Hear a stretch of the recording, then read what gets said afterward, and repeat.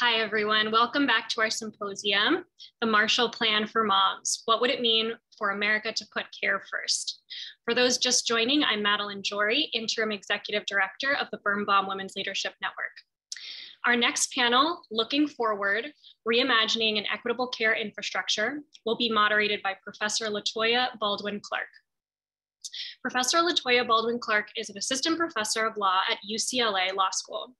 Previously, she was an Earl B. Dickerson Fellow and lecturer in law at University of Chicago Law School. She writes and teaches about education law, family law, property law, and race and discrimination. Professor Baldwin Clark received her BS in economics, cum laude from the Wharton School of the University of Pennsylvania, and her MA from the University of Pennsylvania in criminology. She then earned her PhD from Stanford University in sociology and her JD from Stanford Law School. While at Stanford, Baldwin Clark was a Diversifying Academia Recruiting Excellence Fellow and held a Stanford Graduate Fellowship. After law school, she clerked for the Honorable Claudia Wilken of the Northern District of California, as well as the Honorable Goodwin Liu of the California Supreme Court. Baldwin Clark's publications have appeared or will appear in the Virginia Law Review, Harvard Civil Rights, Civil Liberties Law Review, Sociological Inquiry, The Modern American, and Encyclopedia of Diversity and Education, among others. Welcome, LaToya, and I'm handing it over to you. Hi, thank you so much, Madeline. Uh, so I want to jump right into our panelists so we have as much time as possible uh, to talk. So this panel will look forward to setting an agenda for implementing and, and integrating a Marshall Plan for moms into future policy efforts. So before we start, let me introduce our panelists. I'm going to start with Tim Allen. So Tim Allen is the CEO of Care.com, responsible for the company's strategic direction, leadership, and growth as well as its commitment to deliver on its mission to transform and improve how families around the world connect with and manage care for their loved ones. Mr. Allen is a 15 year veteran of media and technology company IAC and has played pivotal roles in shaping the early days of well known brands like Vimeo and Ask.com, and has held leadership, operations, and management positions at dozens of other IAC portfolio companies, in categories such as search, mobile software, and video. Most recently, as founder and CEO of IAC's Mosaic Group, Mr. Allen led the acquisition of more than a dozen mobile software developers globally. He earned his MBA from Northeastern University, a BS in Information Technology from the University of Massachusetts, and completed the General Management Program at Harvard Business School. Welcome, Mr. Allen. Next, we have Rhian Horgan, who is the founder and CEO of Silvur, an award-winning app dedicated to helping people over the age of 50 retire with confidence. Silvur has assisted more than 120,000 Americans as they navigate the retirement process. Silvur's proprietary retirement score predicts how long your savings will last in retirement and our retirement school is designed to help you on all the topics you need to master as you embark on your retirement journey. Prior to becoming CEO of Silver, Ms. Horgan was a managing director of JP Morgan Chase. She is a best-selling author and has been a vocal advocate for ensuring that Social Security is modernized to meet the reality of 21st century retirement. Welcome, Ms. Horgan. Next, we have House Representative Grace Meng. Representative Meng represents the 6th Con Congressional District of New York, encompassing the New York Borough of Queens, including West, Central, and Northeast Queens, and she introduced the Marshall Plan for Moms in the House of Representatives. Representative Meng is the first Asian American member of Congress from New York State and the only Congress member of Asian descent in the entire Northeast. Representative Meng is a member of the House Appropriations Committee and its subcommittees on state and foreign operations and commerce, justice, science, and related agencies. Previously, Representative Meng served on the House Foreign Affairs Committee and the House Small Business Committee. Representative Meng is also a senior whip and regional whip for New York and a founder and co-chair of the Kids Safety Caucus, the first bipartisan coalition in the House that promotes child safety issues. Prior to serving in Congress, Representative Meng was a member of the New York State Assembly, and before entering public service, she worked as a public interest lawyer. Representative Meng graduated from the University of Michigan and earned a law degree from Yeshiva University's Benjamin Cardozo School of Law. Welcome, Representative Meng. Lastly, we have Dr. Aisha Nyandoro, CEO of Springboard to Opportunities, a Jackson, Mississippi nonprofit that uses radically resident-driven approach to end generational poverty. In 2018, she created the Magnolia Mothers Trust, now the country's largest, longest running guaranteed income program, and the only one in the world to focus on Black women. In addition to leading Springboard's community work and growing the Magnolia Mothers Trust exponentially, Dr. Nyandoro is focused on shifting gendered and racialized narratives around poverty and deservedness, and working to show how the success of the trust can be scaled nationally through policies like the expanded child tax credit and a federal guaranteed income.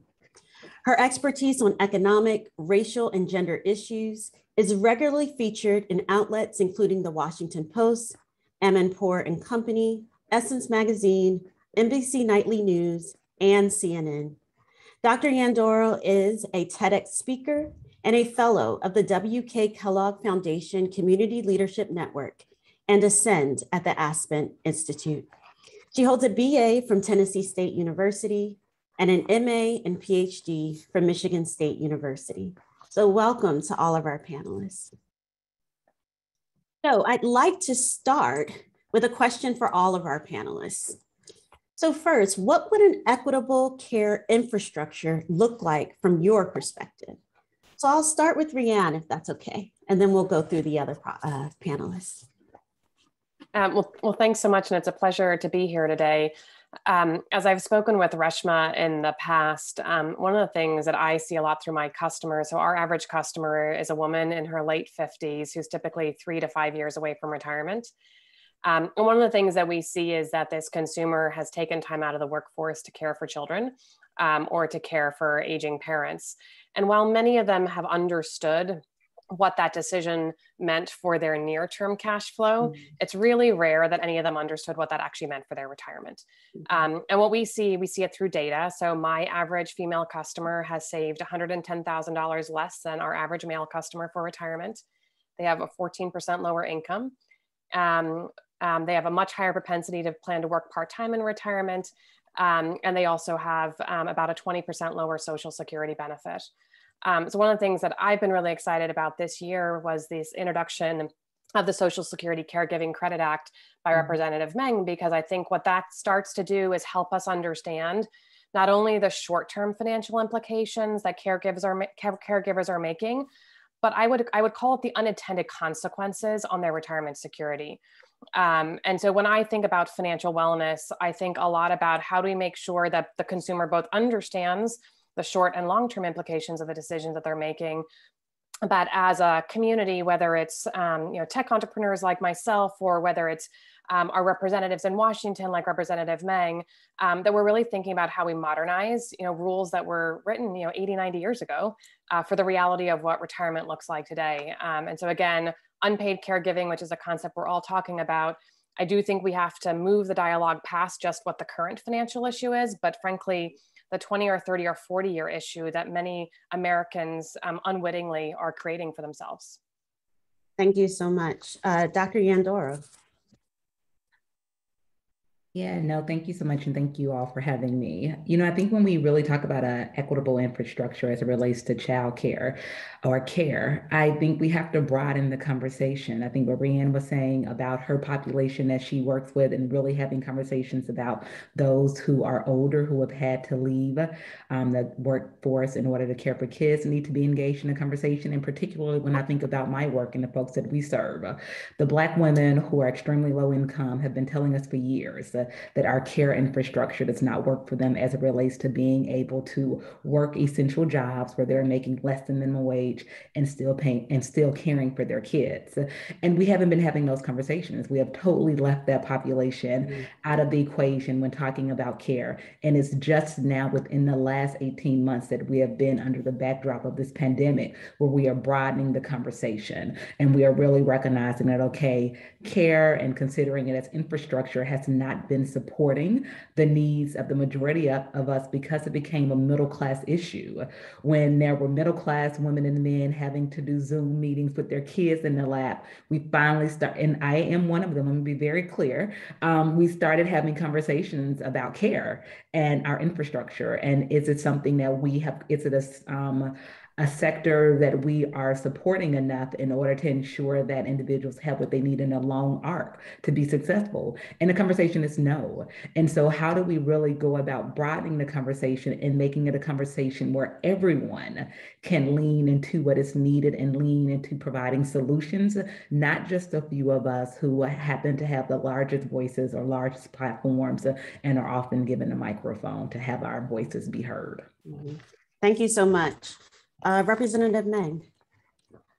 First, I want to thank all of you uh, for including me in this really important conversation. And to my fellow panelists, I'm honored to be in your presence. And thank you so much for being the voices and the experts of, of folks who um, depend on a better and improved care industry. Um, if I could take a moment, Tim, I've always wanted to meet you because there was a point in time when my nine-year-old, I had signed him up for tutoring classes after school, and he, uh, unbeknownst to me, went on to care.com a testament to the success of your marketing uh, and tried to find an al alternate method so he wouldn't have to do tutoring.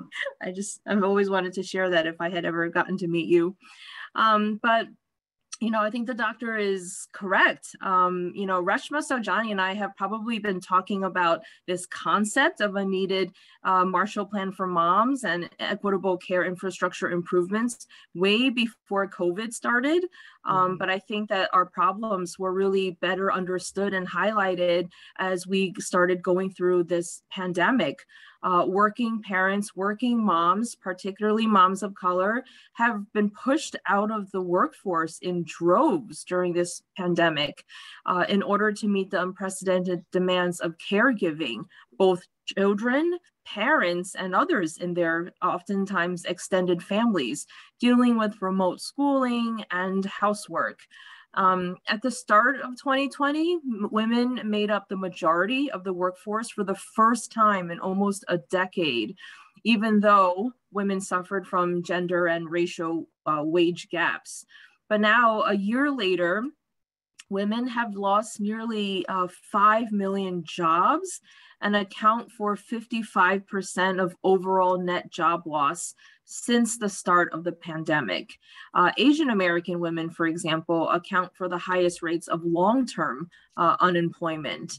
And that's why I work to introduce the Marshall Plan for Moms to provide a blueprint to ensure that working moms are prioritized in pandemic recovery plans that were not left out and protected against future economic calamities. There's no better time than now to seize that momentum to make much needed change. And the Marshall Plan calls for a robust paid leave. This is all common sense to all of you. Mm-hmm. Robust paid leave, saving our childcare industry, investing in universal childcare, early learning, and our K through 12 education system. It also calls for strengthening child poverty tools that would create transformational structural change that give moms, all moms, a fighting chance to recover from the pandemic. Mm-hmm, mm-hmm. Thank you so much. Uh, Mr. Allen, so what would an equitable care infrastructure look like from your perspective? Thanks, LaToya, and thanks to mm-hmm. everyone on the panel as well. You know, it, what I what I appreciate and respect is this will take a diverse chorus of voices to really have this conversation sustain and be persistent in the, the the future of what we're actually facing. And Representative Meng, if your son needs a tutor in the future, just have him hit me up, and I will definitely help him out. So, uh, you know, I really appreciate that he uses the platform. So, But thank you to everyone who's also attending and watching. You know, you know, Aisha said it right, which is this is conversation has always been present in the backdrop, and COVID has really been, if there's one silver lining, accelerated the conversation to the forefront of what people are now talking about. CARE's infrastructure is just common sense. It is something that America needs. It is something that has been woefully neglected for a number of years, and it is something that now people are paying attention to. You can't have a prosperous nation when half of your workforce is sitting on the sidelines because they're trying to figure out how to take care for their elders, care for their children, or care for anything in between. You have women leaving the workforce in droves, as Representative Meng had, had mentioned, and you can't get them back into an economy and have a thriving economy unless we figure out how we can support and put the infrastructure in place to mm-hmm. have that be the future. Um, when I think about equity, what I really believe in is there's two points, many points, but two main points that I really focus on. One is accessibility. 51% of our children live in childcare deserts right now. They don't have accessible means to, to find quality either in center care or at home care. And that's either due to economic reasons or that's also due to just availability.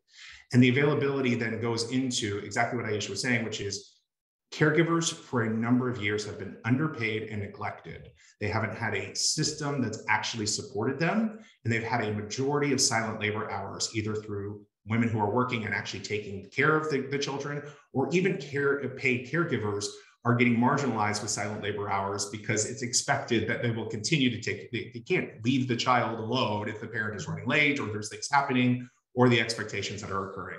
Accessibility is going to be key. Mm-hmm. the other piece for it is going to be affordability. And this is really where if you take a look at the systems that are in place today from a government perspective right only 20%, less than 20% actually, of children who are eligible for the largest federal grant for childcare, which is the Child, the Child Care Development Fund, actually receive funding.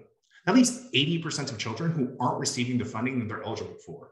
That really speaks to the gap of equity in terms of parents understanding how to access the care, how to navigate and receive the care, or even if you think about it, getting to the to the the, the nuances of it, they don't have the means to access even internet to go and qualify for the care and apply for the care.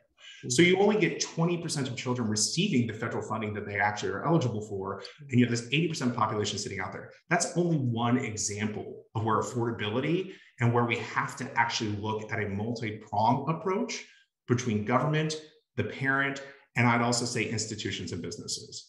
You really have to have this this coalition working and rowing in the same direction for us to be able to make childcare affordable across the spectrum through all of the programs that are available and really helping parents access those programs. Mm-hmm. So when I think about equity, I really do think in affordability and accessibility. And I think those are the two key pillars we need to orient ourselves on in order to make a difference.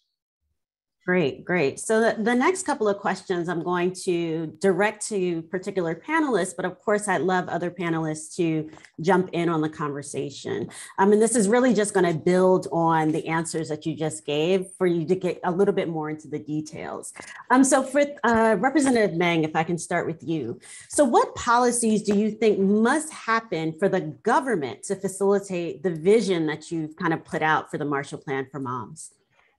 Sure. Well, I just want to piggyback off what something Tim said um, was about broadband access, internet access. This was actually an issue that I had worked on way before the pandemic, and it was sometimes a struggle to explain to folks who either had internet or who were not in rural areas um, why this is important. And we all recognize its importance. And we've been working with Senator Markey from Massachusetts and um, Vice President Kamala Harris, who just announced on The View that every state is going to get funding. And we, were, we are going to be able to fund internet access for 3 million more children after today. And so thanks for letting me mention that here, but I think it is very much related to working parents and to, you know, homeschool issues that we've all had to see so many people suffer through um, because we didn't have enough resources over the last year and a half, uh, especially.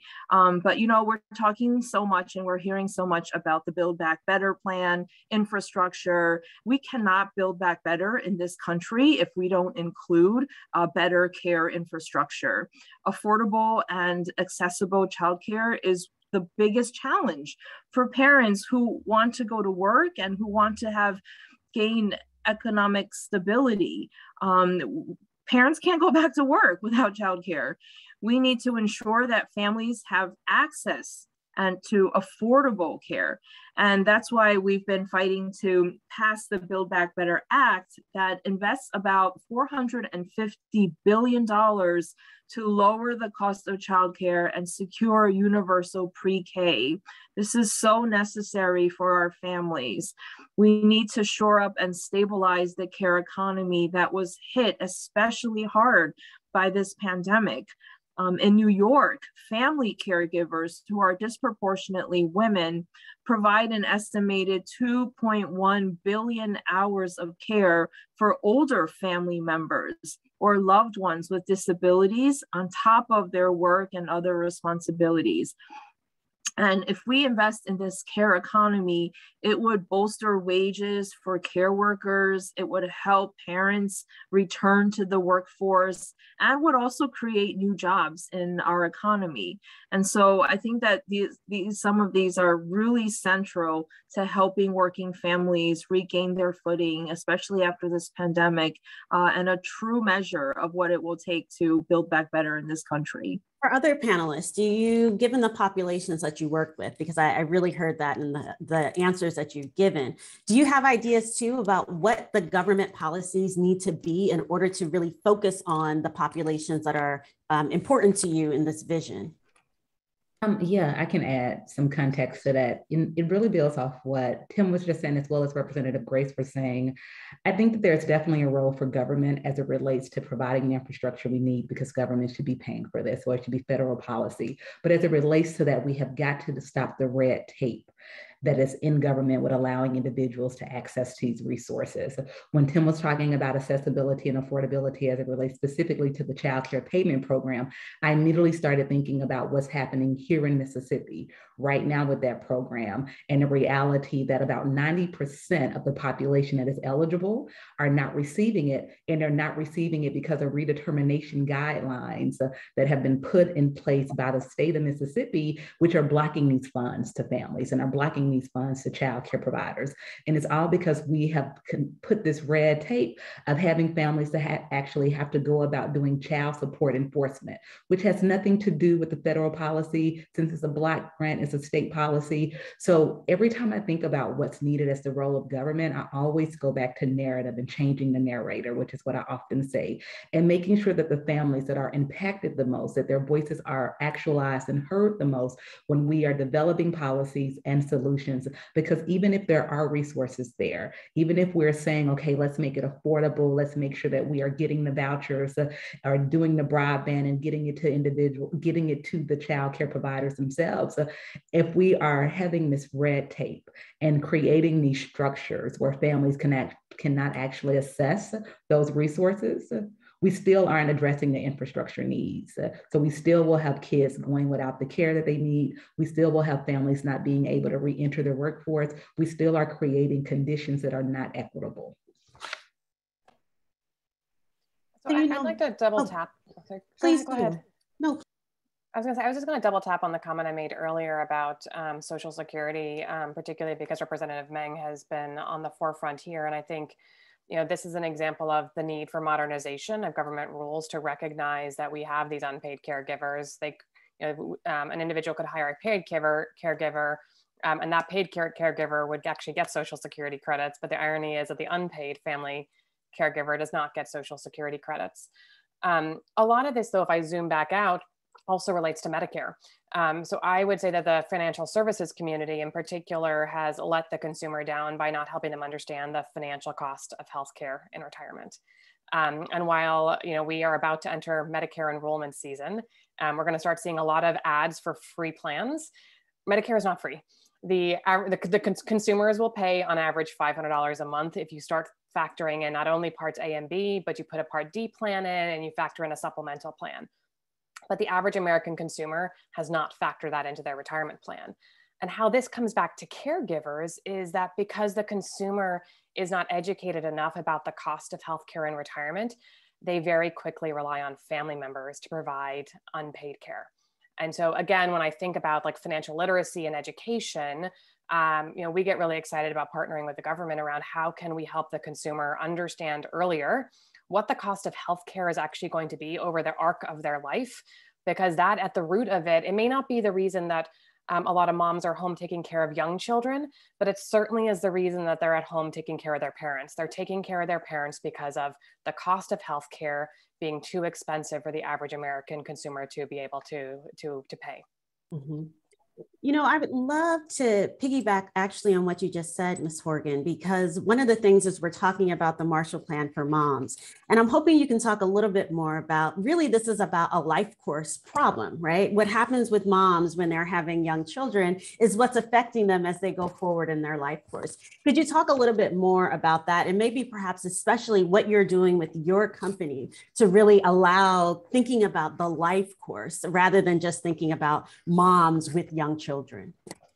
Yeah, so for us, I mean, we're really focused on this consumer that's in their early 50s. Um, and what I think about is, and I know it's on the later part of that life course, but there's still time to course correct. And there's a lot of decision men and women are making in their 50s and 60s that actually impact their long-term retirement security. Um, so I think about that, just that big decision about when am I going to leave the workforce. Um, and there's definitely conversation in Washington about potentially changing the Medicare enrollment age from 65 to 60. Um, but and the big the big kind of decision there for many consumers is again around this cost of healthcare. Um, so for us, what we think a lot about is how do we create an informed and educated consumer. Um, and while you can go on the web and you can do a lot of research yourself, what I will tell you is that Dr. Google is overwhelming the consumer. Um, and so we've actually built this product called Retirement School. And the idea behind Retirement School is basically Netflix meets retirement. How do we get you the content that you need for your personal journey? So if you're a woman in your 50s who's divorced and is thinking about retiring at 62, you're going to see a set of classes that are relevant to you. For example, Social Security for divorced individuals, early retirement healthcare for women, personalization. Um, and um, Tim knows as well. Like one of the one of the beauties of technology is it allows us to deliver the personalized content or recommendations to the consumer so that we give them the information that they need at the right moment in time. Um, and so that's where I get really excited about the potential for public and private partnership, which is how do we use technology to get the consumer the information they need in a way that they're in a way that they're used to um, kind of consuming you know the internet these days. So you know th- this the, you know this consumer is tech literate. So how do we how do we move past these kind of old websites or 400 page books that no one wants to read and actually deliver them the information they need at the moment in time that's most relevant and, and that i think um, you know we focus on it from the age 50 plus but i think if you you know you dig deeper back into the 20s it's all about how do we get this consumer that information about the choices they're making now but also how it what are the long-term consequences so mm-hmm. this i want the average 25 year old woman to know more about social security than it's a payroll tax in her paycheck every two weeks right. if she understands that mm-hmm. you know she needs 35 years worth of earnings to get full credits and that if she gets divorced after 9 years versus 10 years that she's going to lose that benefit like mm-hmm. these are the things that she needs to know earlier um, mm-hmm. and that goes to this like literacy that's super important mm-hmm. mm-hmm. i'd love to jump in for just a second i love what you're saying Rihanna, which is it really is about the education and the literacy for the individual because a lot of times they come up to the doorstep and they're like what do i do right? And the financial independence and the literacy of what they're actually going to be planning for at that stage of life is so important for them in order to map out how they get to retirement, how they can take care of themselves. And I also think it, it reverts back to, you know, I want to click back to what we are talking about before, you know, on retirement and caregiving, it, it's also about the expansion of definition right a lot of people who come to our site are looking for companion care for their for their their parents and right now in Medicare, there's not a lot of funding that's available for people who need the touch points of companion care, such as, you know, did mom take her vitamins today? Can you go check in? Can you deliver a meal? Can you do the things? Because with over 80% of the aging population wanting to age in home, you need to start to have federal programs and funding that are going to support those companion care moments and also the moments that are going to be the in between moments, not just the higher acuity moments. And I think that that's what that's what Rand's speaking to, and what's been there is giving that financial education and literacy to the individual in order to make the decisions of what they're going to need at that stage of their life or how they can catch up and plan for that stage of life. I don't want to put words in your mouth, but I, that's what I'm taking away from this. but also the individuals who are younger, how they can plan ahead and make sure that they're able to get that. But we need the government to also step in and go, look, there's a larger spectrum of care when you enter the, the, the elder years versus it just being about these, you know, dementia, high acuity, in center, loss of facilities. You know, it's really starts to become how do we age gracefully as a nation? And I think that that's the conversation that's starting to happen, uh, you know, even with, you know, we, we focus on childcare a lot of times, but I'd also say in the senior care segment, that's a conversation that's really interesting and we're starting to see take hold as well. Um, there's one, one other point, if you don't mind, I just wanted to make, which is on the same vein, you know, it's in society, we have this, what I call reverse paradigm. We put the burden on young parents either you know i'm part of the sandwich generation but it's skewing older and it's skewing younger and younger as parents are getting older for the kids to start to take care of their parents and become those primary caregivers. Um, so you have a lot of families in their early 20s late 20s starting to have to take care of aging parents and also taking care of young children. And the reverse paradigm that you know we're watching and witnessing is those early years are actually their least income years those are the formative years in a career so we're putting a high financial burden on these young families in terms of finding childcare, which is very expensive, right? On average, 13% of average household income, and also pay for how you're going to take care of your parent or make sure that your parent's there. And so it's causing this labor pool contraction a little bit, which is we're putting this burden on these younger workforce labor pool individuals versus us having systematic measures from a government perspective, from a business perspective, that allow for the earlier career formation to be less financially burdened and be able to actually take it on when you actually have formulated your, your income over the next, you know, as you get more experience, as you start to grow in your career, that's the inflection point. We should actually have the cost match the actual income that's occurring. So it's this weird paradigm we actually existed in American society that other nations have really started to figure out. You know, you have Germany who's really doing a, a big subsidy program in terms of elders and in terms of childcare, uh, especially for the younger families. And you have Sweden, you have Norway, have the rest of them.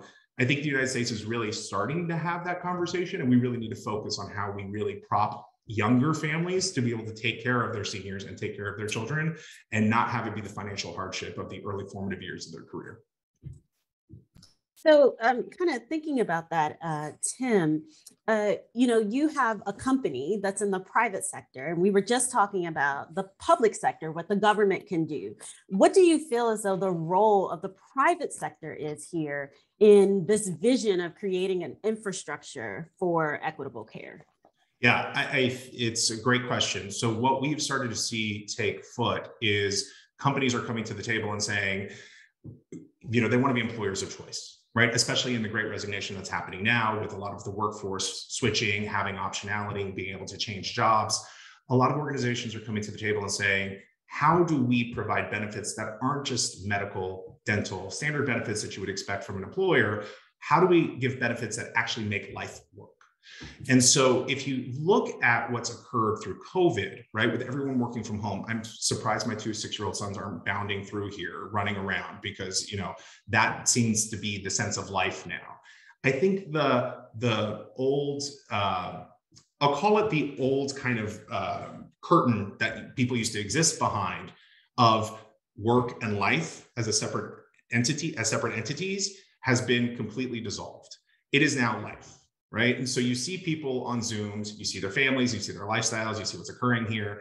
And it's really removed that barrier of people going, oh, you know, you, you have kids, you, you've got a life, you've got to go do take care of these things. And you're not going to be here from a monolithic nine to five and sit there and just work. And so what I've started to see happening is corporations are going, oh, there's a new reality, there's a new normal here. And we're seeing it across the spectrum of jobs. A lot of times people will tend to think, oh, that's fine for white collar jobs, you know, you, you got corporate jobs. We're seeing it in retail, we're seeing it in warehouse working, we're seeing it in, in all kinds of facets of, you know, from fast food industry. They're coming to the table and saying, how do we provide benefits that actually support our employees to be able to work and be productive and have it all, so to speak. How do we provide childcare subsidies? How do we provide daycare subsidies? How do we provide senior care subsidies? Because we also know that a lot of our workforce is dealing with aging parents.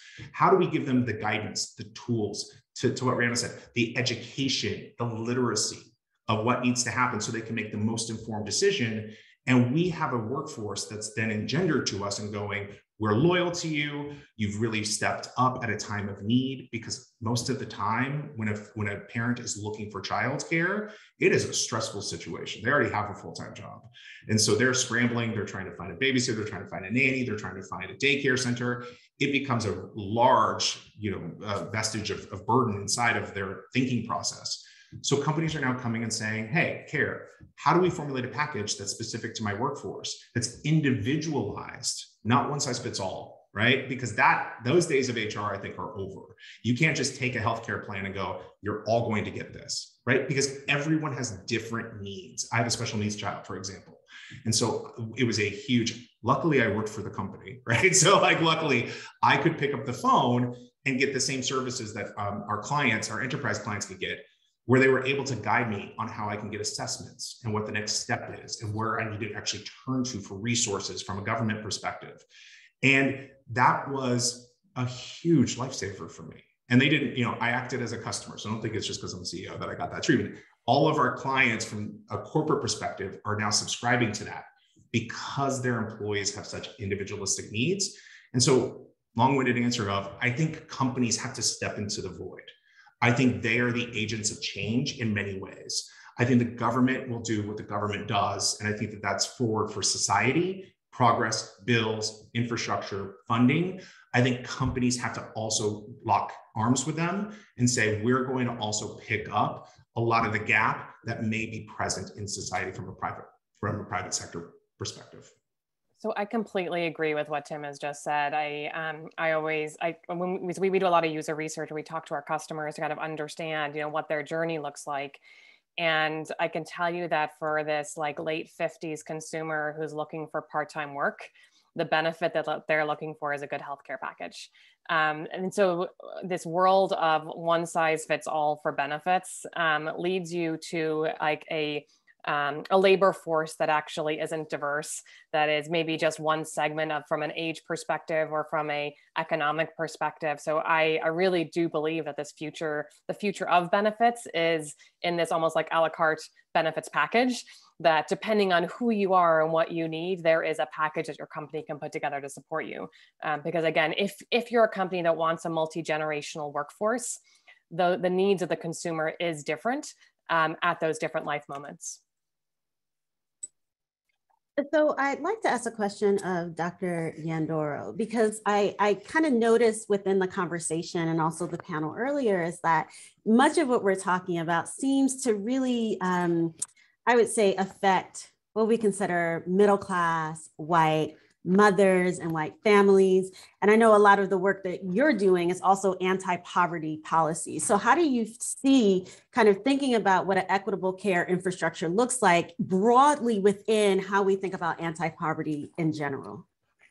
Yeah, I don't think you can separate the two. And I think we mm-hmm. keep trying to do that, or we keep trying to act as if they're in these conversations that we're having in silos, or we don't want to have the conversation about how a lot of racism and sexism are already baked into our care infrastructure or lack thereof of care infrastructure.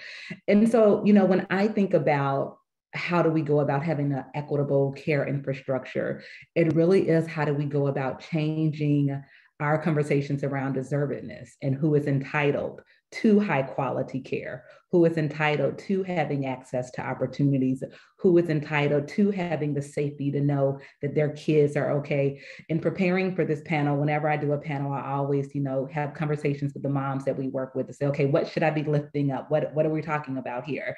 And so this was no different. I went and I talked to our moms, okay, when we're talking about care, what is it that we're still missing? What aren't we seeing? And my moms talked about the accessibility, the affordability, actually just having the cash themselves where they could go about choosing their provider and not being beholden to a provider who would only accept the vouchers. You know, Tim, you talked about the sandwich population. A lot of my moms are sandwiched as well. They are caring for their moms or their fathers or other family members, as well as caring for their kids. And they don't have the benefit of having the early careers where their income can offset that. They are struggling with the reality of, okay, I am caring for my aging parent while I'm also caring for my kids. I am still grappling with the fact that we are in a hybrid education situation. How am I supposed to work this job that is still paying me $7.25 an hour, which is our federal minimum wage here in Mississippi and our federal minimum wage federally? I'm grappling with that reality. And we're not having the conversations about equity across all of those very basic needs still. And so when we think about this, or when I think about this, it's really we still have got to get to the core of what we value and we really still have got to get to the core of the conversation around deservedness uh, and real and the reality is everyone deserves care infrastructure that works for themselves and their families and provides high quality care options uh, not just a few of us. And we still even though we're having conversations about broadening care we still are having conversations that would only be beneficial to a very small subset of our country uh, Representative Meng, I'm, i wonder if you have any thoughts on that. I'm thinking from a government perspective, thinking from anti-poverty policies in general, how we can use the Marshall Plan for Moms to also address some of the issues that Dr. Nyandoro is speaking about. Yeah, well, we really, government has to do a better job at strengthening child poverty tools uh, and combating child poverty, like the child tax credit Oh, you muted yourself. Um, expanding and making permanent the child tax credit. Um, we've heard so much from everyday working families about how the expansion this year has helped so many people and how they would love to see it made permanent. Expanding free school meals, which we've done here in New York City, uh, nationwide summer EBT program. Uh, so many tools that government could relatively easily do uh, to combat uh, and address child poverty. Um, I have a bill that's kind of fun, but hopefully motivational. Uh, it's called the Honoring Family Friendly Workplaces Act. Uh, which is uh, formulated um, after the EPA's, uh, there's an energy friendly program that would basically work through the Department of Labor to create and reward companies based on their family friendly work policies. Um, and so that's something that we just want to highlight private allies who are doing the right thing by our working families. Um, and for my two cents, I, you know, for the private sector, um, asking employers uh, and, and public sector actually to be good listeners, flexible. You know, you've seen situations where a, a boss may try to um, reward their employees, and sometimes it includes like scheduling an event during pickup and drop off of a school's child, you know, a, a, child's school day. And that just doesn't make sense. Ask your employers, employees, uh, what they want and what would help make their lives easier. And I agree with Rhian that we have to revamp uh, how government looks at childcare because um, the way that it exists uh, needs to be reformed as we see more uh, immigrant families, more diverse families blended families, multi generational families, and caretakers. Um, we need to learn to be more flexible too. So one question that's come up in the uh, Q&A, um, and maybe this goes to um, uh, both uh, Ms. Horgan and also Mr. Allen, who are in this kind of tech world. How do you see your um, positioning as reaching people who don't have access to the internet, who aren't having access to broadband? Have you thought about how you can pivot into those spaces so that you're reaching a broader, um, I would say, a broader population than those who have, you know, easy access to the internet? Sure, I'm happy to jump in, uh, or if you want to go first. Uh, what I'd say is, for us, it's something we think about all the time. It, it really gets the affordability and the accessibility piece of what I started out with you know, um, it is about how can you disrupt access points so that there is a equitable field for people to of all income bands to be able to find care. Um, our mission is to really help families find care. Period. And those are every family everywhere, regardless of income, regardless of means, regardless of accessibility. And so we focus on how can we get into the places where there is 90% of federal funding not being able to be deployed, as Aisha had said earlier, and really help them and provide the means for them to access one, the funding, but then also provide the means of, of how do they access to find care that's affordable for them and have choice. You know, um, it's, it's, uh, you know, Aisha said something that really struck me, which is, um, you know, look, moms don't need a savior. I am a dad who is privileged and allowed to sit here and talk about the things I see inside of my professional environment. But what moms need is recognition and they need allies and they need people to actually say, you're right, the deservedness conversation. It really does strike me there. And I think that that also goes into the segments of population too right? I think lower income individuals need advocacy. They need allies to say, how do we get this funding to you? How do we give you access to means? How do we sit and make sure that you have choice in the matter versus only getting a provider that allows you to take a voucher? How do we really give you the, the mechanisms to really be successful regardless of the stage you're at in life? Um, and, you know, really for me at the end of the day, is it's about the kids you know it's about the children in of themselves. All the you know there's tons of research out there that shows when you invest in early childhood education which is why i'm a big fan of universal pre-k and you invest in early care you provide the mechanisms of care. Should the, the kids grow up to have better incomes better scores better gender, better, better gender diversity meaning that they actually recognize that when mom is out working you know, little boys actually go, great, I'm, i have a better gender neutral view of how women should be working in the workforce. You know, it has all of these ramifications over life. And that starts with providing access and providing the means to do so. So I'd say, you know, it's something we constantly think about. It's something we constantly struggle with. As Aisha said earlier, the red tape.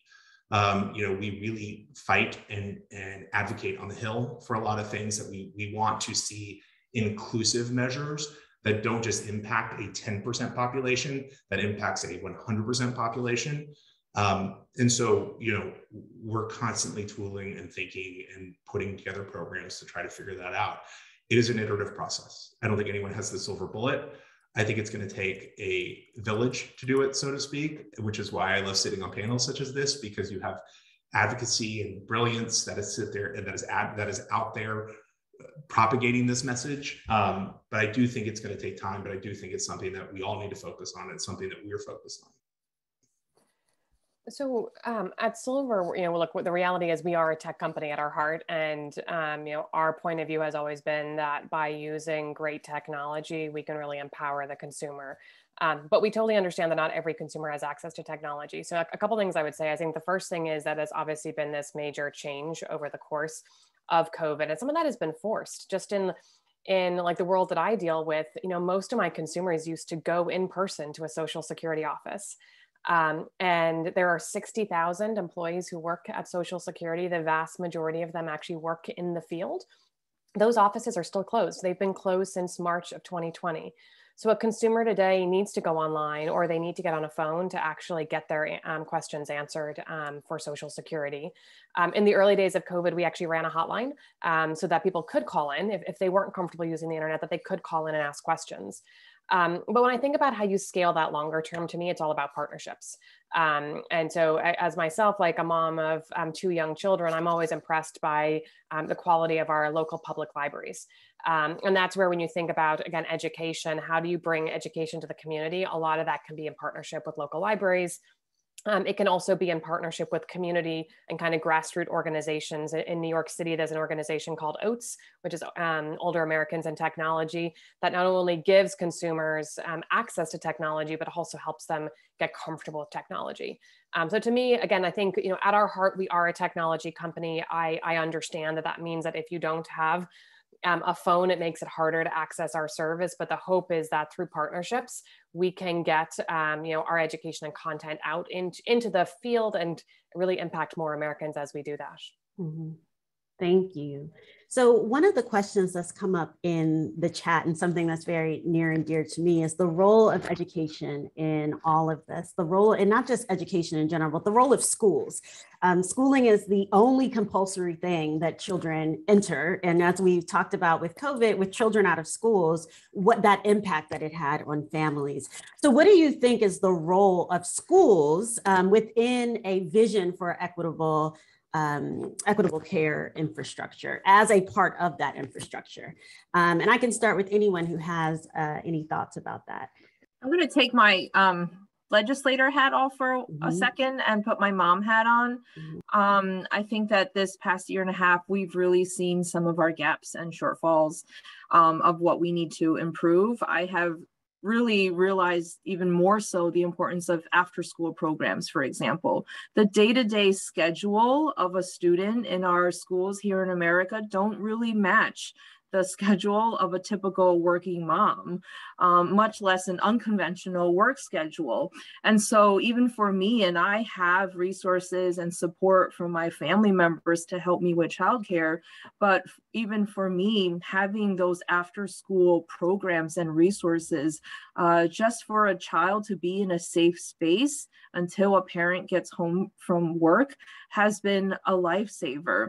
Um, I know we've talked a lot about internet access, and this has become uh, this is not a new issue, but it's really been highlighted because of the pandemic.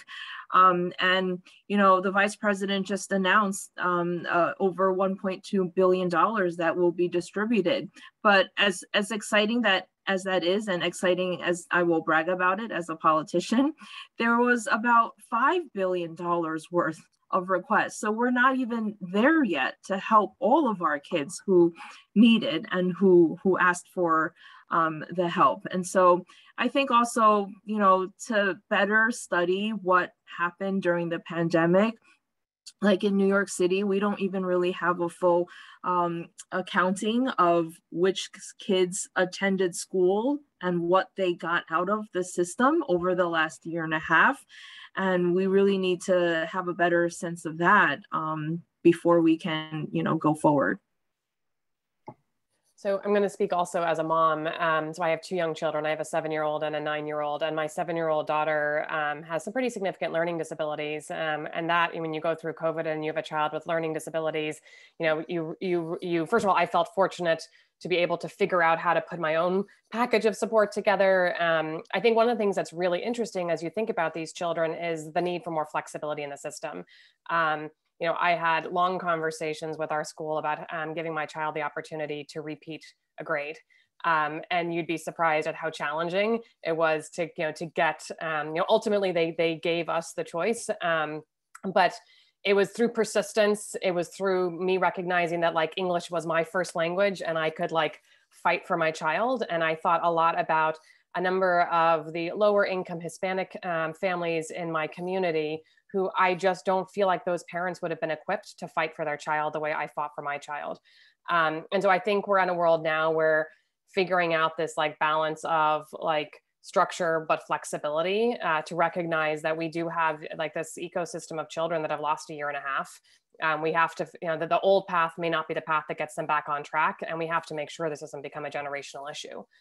Um, and so that's where again i think there's this like and this is always hard the minute you introduce flexibility the question is making sure it's not being abused and whatnot but i i would i would personally err on the side of flexibility to give children the, the, the ability to get caught up um, and the moment is now to do it. You know if we wait two or three years we, we've created two or three more years of real challenges for students. Ditto to everything that's been said. There's research already that shows that from last year under the um, arc of covid kids on average lost four months worth of learning. And I am sure that is much more significant in lower income communities um, because I've seen what that is, how that has manifested in the communities that we work in. And, you know, going to what something, something that Rhian was just saying about, you know, how many individuals in her community would have had the bandwidth in order to advocate for their kids.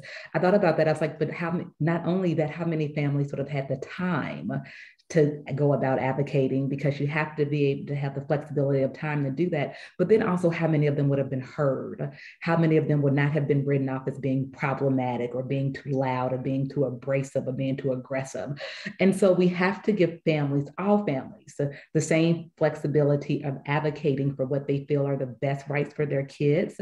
And instead of getting back to this idea and this rush to go back to normal and build back better, really, why don't we tap into radical imagination and build back different because what we were doing as it relates to education and care was not working. What we are doing now as it relates to education and care, it's still not working. And so, what we will build in the future probably won't work either, because even though we have pumped all of these resources into our um, into our communities, we are not seeing those resources being deployed in innovative ways. We're seeing those resources be deployed for more testing and more testing coaches. And why do we need more testing for kids who were just at home for a whole year? Um, can we go back about teaching some life skills? I was telling my 10 year old, I was like, you don't even know how to sew. You probably need to learn how to sew and build a fire and do some of those life skills because who knows what's about to happen with climate change. And so, really, let's tap into the ideals of doing something different and better for our kids um, and using all of this care infrastructure as a way to wrap that in as well. Thank you so much. Uh, I want to just quickly pivot to giving the uh, CLE code. Uh, sorry to kind of break the conversation in this way. Um, I think uh, Claire is going to share her screen. Um, so the CLE code is one, I'm sorry, not one, INF 421. Um, again, it is INF 421. Um, yeah, I said it twice. Thank you. Um, so we have about four minutes left. And, you know, I want to give each of you the opportunity, you know, if there's a question that I haven't asked, if there's something that, you know, you really think is important to say and get out during this conversation, um, I want to give you the opportunity to kind of do that right now. So what is something that you really think needs to be thought about within thinking about an equitable, not just the infrastructure, but for it to be equitable infrastructure um, that we haven't talked about yet? Um, and I'll I'll take anyone who wants to kind of jump in. I'll jump in. What sure. I'd say is, you know, it's shocking to me that as a nation we are still having debates about the primary basics of things such as paid leave for families. You know, and this is just a baseline fundamental that all developed nations have put into place other than the United States. And we are the greatest nation in the world. We are innovators. We are the the, the future seekers. We are a prosperous nation. And we can't take a look at women who are giving birth to a child and saying you are guaranteed to have a job when you are done and you are guaranteed to come back and you should have leave to bond with that child and make sure that that child is taken care of. That is just it's um it's like two-minded to me. It's so it's so it's like i step out of my body when i hear these things. And I think as a nation, what we have to do, both from a government perspective, but also from a private sector perspective, is to say no more. We have to recognize the women in the workforce. We have to recognize what women are having to do from a silent paid labor hour perspective. We have to recognize from a, from a gender and a wage gap perspective. And we need to put the infrastructure in place in order to set that equity up as table stakes, not something that needs to be fought for or reached for. And I think that overall, what happens is the derivatives of that is you then have access to care. You then have sustainable wages for caregivers. You then have all of the derivatives that occur when you set the baseline of what's supposed to be expected as a nation and as a developed country in terms of what women should have access to from the overall perspective of you know caregiving from motherhood from the contributions that they provide in society um, I would say that's one thing that I'm the most excited about in this plan and in this bill is that it does uh, provide federal paid leave. It does provide, uh, you know, maternity and paternity leave, and I think that that is such a it's such a watermark that we should have already treaded across years ago, but it sets the stage now for us to really be able to have those conversations of materiality that will then produce exactly what needs to be produced for us to have equitable society overall. Thank you. Maybe I, maybe I, could kind of riff a little bit off that, which mm-hmm. is just this definition of paid work. And in many ways, I think um, kind of we're kicking the consumer when they're already down when we think about government benefits. Um, so Social Security payments are linked to the number of years you have paid work. Medicare eligibility linked to the number of years that you have paid work. Also linked to marital status. Um, and we're, whether we like it or not, we're in a world where a lot of consumers are getting divorced. And again, when Social Security was written, it was written in a world where there was a one income family, one earner. There was no concept of really of divorce happening. And I think, um, again, this world of, in many ways, it's kind of like a portability. Like how do we, how do we create benefits that accrue over time at a household level that can be shared at a household? And when the household formation changes, that both parties are treated equally. In a divorce, Social Security gives one spouse 100% benefits and the non earning spouse gets a 50% benefit. That's wild. So when you think about like having a divorce where there's equity, like Social Security does not create equity in a divorce. Um, so again, I think we have to really go back to what's the definition of paid work? Um, how do we think about um, the nature of what families look like um, and make sure that benefits as a whole have really modernized those definitions um, so that the consumer really understands what they're getting long term. I will say from a broader perspective uh, in the world of government and politics, and all of you are helping to do that to normalize these conversations these conversations, even as someone who um, is a daughter of immigrants, was born and raised here, as a mom myself right now, um, we really kept a lot of this under the wraps, right? Like even myself, I don't talk a lot, even with my colleagues. Um, so this is a lesson for myself too. You know, I don't talk a lot about the struggles of childcare, the struggles of helping to take care of our, our parents and our relatives. And so whether it's talking about it more with ourselves and acknowledging that there needs to be reform, not just while we're negotiating this bill, um, but during normal times as well. And, you know, I don't want to get political here, but when you are talking to people who are candidates or your elected representatives to raise this issue because it's not raised a lot. I know it's not raised a lot even to me, and I'm a working parent. So I'm sure when you're talking to some of the other elected officials um, who might not be able to relate as much, um, it's probably not being talked about there either. So we really need to normalize these conversations, make sure they're kept at the table where decisions are, are being made, um, and to kind of change that standard uh, of how we uh, talk about child uh, family care.